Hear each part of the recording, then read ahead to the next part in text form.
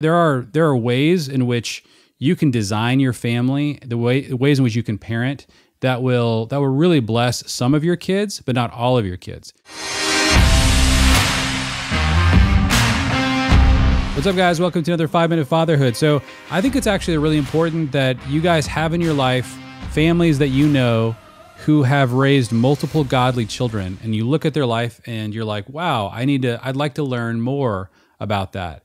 Um, and one of the reasons that I think is important for you guys to notice families that are upstream from you and that are really experiencing the fruit of their years of parenting is because of something that, something that Jesus said. Um, he said uh, in the Gospels when he was talking about John the Baptist, his disciples were talking to him. Said John the Baptist uh, came neither eating, um, uh, drinking wine, or eating bread, and you said he is a demon he, ha- he has a demon. The Son of Man came eating and drinking. You say, Here is a glutton and a drunkard, a friend of tax collectors and sinners.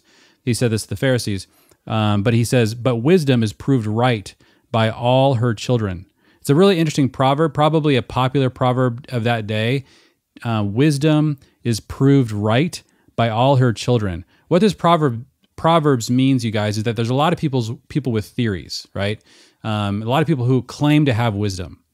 And what uh, what sort of first century wisdom or ancient wisdom said is that the way that you know if something is truly wise is you wait until the children grow up, and then the wisdom is proved right by all of her children. So you see what is reproduced or what the fruit is, the ultimate fruit of the theories. So we live in a day and age where um, there were there are all kinds of theories. I think it was uh, Rousseau um, who is famous for he crafted a lot of the ideas that undergirded the French Revolution and yeah. he was also famous for being one of the worst fathers in human history. He put his he, wow. he refused to father his children. Uh, they were it was just the wisdom was not there, and so I, I don't have a lot of interest in his philosophy uh, because it wasn't proved right by all of his children.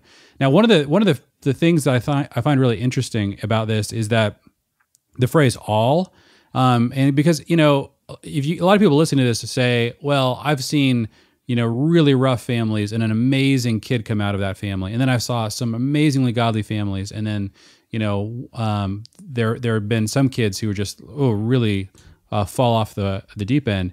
So how is this true? So there's a lot of a lot of tension I think in this, and it's not meant to judge any particular family.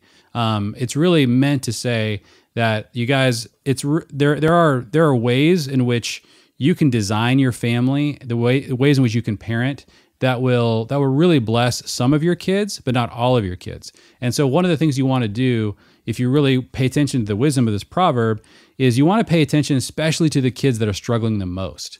Um, because you, what you're doing may be wise um, in the way in which it's it's really influencing or impacting some of your kids, uh, but it may not be wise for all of your kids. And so that's that's something that I think is just important to watch out for. It's really important to um, and so to, to really look at the kids who are struggling the most in your family and then to gain the most wisdom from your parenting struggles with that child.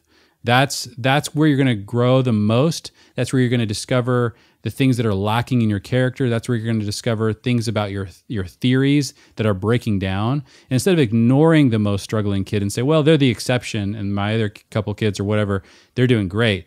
Pay really close attention to the ones who are struggling the most um, and, and figure out is there something about our lifestyle, something about what I'm teaching, something about the way I'm modeling. And again, you guys, I'm not saying there's no exceptions to this. I'm just saying that this is a very general principle that I think is really wise and something that Jesus was promoting and was quoting and was really describing as something that's generally true. It's a proverb. Wisdom is really proved right by all of our children. But yeah, Jeff, what are your thoughts on that?